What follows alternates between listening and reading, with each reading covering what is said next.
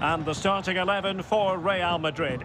Thibaut Courtois is in goal. David Alaba plays with Ferland Mendy in the fullback positions. Federico Valverde plays with Toni Kroos in the centre of midfield. And so many different ways to configure an attack. In this case, it'll be two men up front. In with a chance.